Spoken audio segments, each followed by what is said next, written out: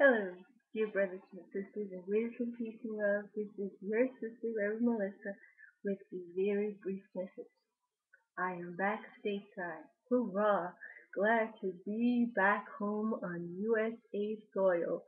The past three and a half years has been an adventure, one that I must say that I do not plan to retake again no time soon.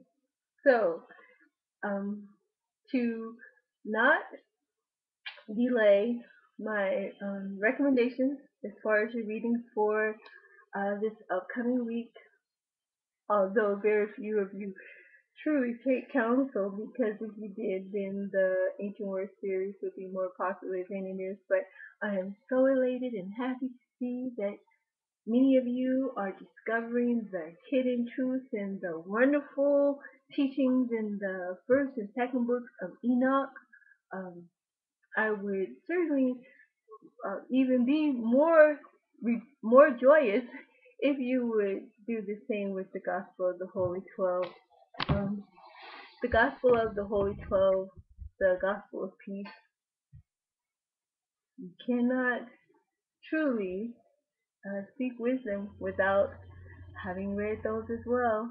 And please do not send me no hate mail, no hateful comments, okay? Because I do recommend the Book of Mormon also. So don't hate on me because I'm LDS. Alright? there we are to love everyone. And in the kingdom of Jehovah, it does not matter your church affiliation for the most part as long as you follow the righteous one and his teachings and you love thy neighbor as thyself.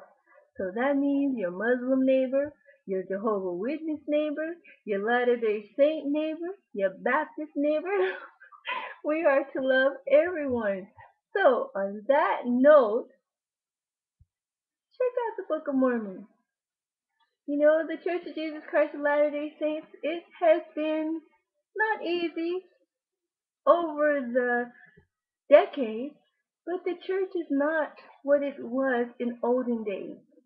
The church is multicultural, uh, multi-ethnic, and just a place that is full of love. And surely, come on now, who can say that they have overdosed on love and that you don't need any of that? Give me all the love that you have to send to me. Listen, I've been away for a long time, so send me love. Just send me lots of love, okay? So, my recommendations for reading are two books, okay?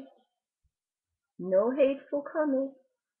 The Book of Mosiah from the Book of Mormon. And also the Gospel of Peace. Because it's in the Gospel of Peace that you learn about the angels. You know, come on now. Look at everything that has happened in the world recently. We wonder mysteriously, how are these things able to happen?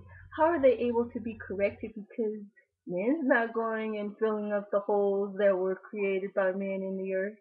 The massive holes, the damage from the earthquakes, and yet you go to sleep and then overnight the the earth that was destroyed all of a sudden you see uh, plant sprouts starting to come up again the water that was made filthy suddenly is becoming clean. Do you think man is doing all those things? No, they're the holy angels. Come on, let's give them thanks. We are so grateful. We are so blessed to live on this beautiful planet, to have the holy angels that are always forever working so that we are cared for. And let's be kind and gentle with the animals you know, um, there's so many. If one or two, you have one or two, and then your personalities don't match, then find a home from those two, and then go out and get another two.